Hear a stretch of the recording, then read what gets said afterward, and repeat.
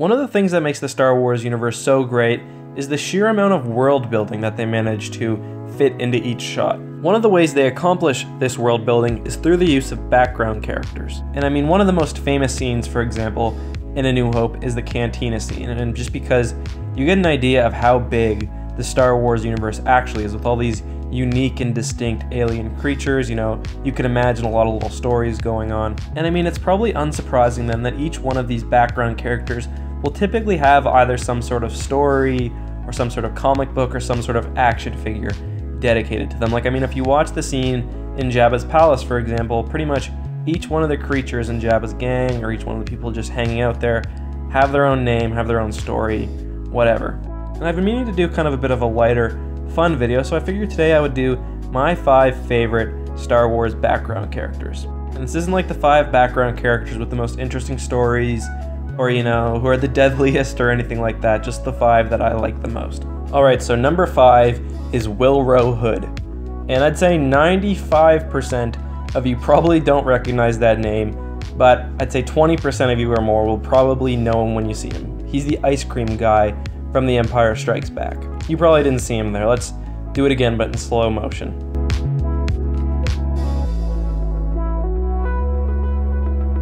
So, I like Willrow not because he's a compelling background character, although it's not like he's bad or anything, but rather because he's just one of those background characters of Star Wars that has just such a ridiculously detailed backstory considering his connection to the movies. And the story behind him is that when people watch the movie, he was pretty easy to pick out because it looks like he's carrying some sort of ice cream machine or ice cream maker. And let's be honest, that's probably what the prop was because it looks vaguely science fictiony.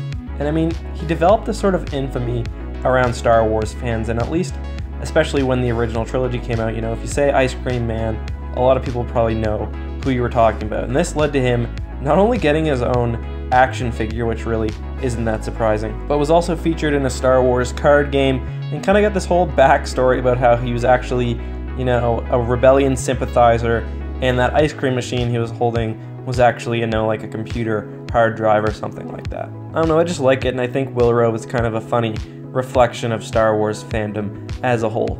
My fourth favorite background character in Star Wars is Lak Sivrak, who is probably better known as the Wolfman. And I say better known, but a lot of you guys might not know who he is because the Wolfman was only around for the original version of A New Hope and he was later replaced by a CG puppet. But you know what? I actually like the original version and I think a lot of people do because it kind of captures what I know a lot of us loved about A New Hope. It was campy and it was cheesy Flash Gordon style science fiction, but that's not necessarily a bad thing. And in fact, I think it's actually a good thing and it's endearing and it adds so much charm to the movie. And he was replaced in 1997, but before that, and really, well, I guess since, he was popular among fans and he was part of, you know, various Star Wars role playing games and he had his own cards and his own action figures. And his story was actually a lot of fun. And I mean, this is pure Legends Expanded Universe cheese, but I like it.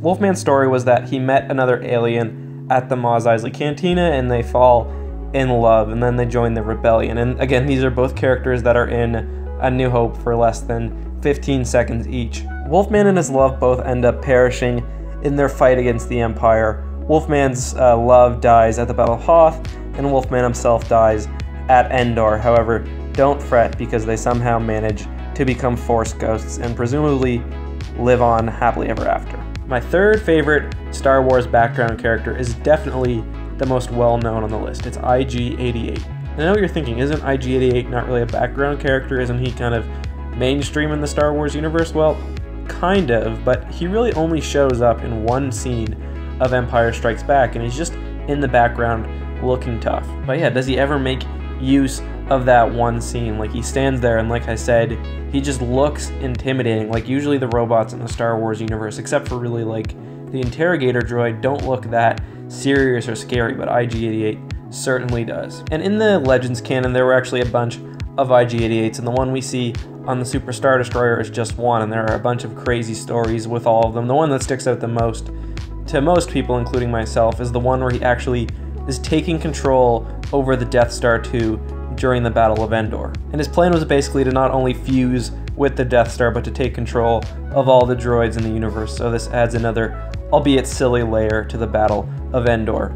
IG-88 also makes an appearance in probably one of my top three favorite Star Wars games, and that's Shadows of the Empire, and I didn't take that into consideration when making this list. But he's basically one of the game's main boss fights, and he is actually terrifying. He makes this really scary sound.